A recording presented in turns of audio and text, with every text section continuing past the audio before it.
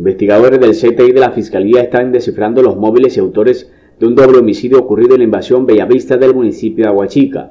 Las víctimas fueron dos hombres cuyas identidades no han sido establecidas por las autoridades y quienes recibieron varios impactos de arma de fuego en la cabeza y el tórax. Los ahora occisos eran ciudadanos en condición de calle que fueron interceptados por motorizados. El CTI de la Fiscalía inspeccionó los cadáveres y los remitió a la morgue del Instituto de Medicina Legal y Ciencia Forense respectiva necropsia.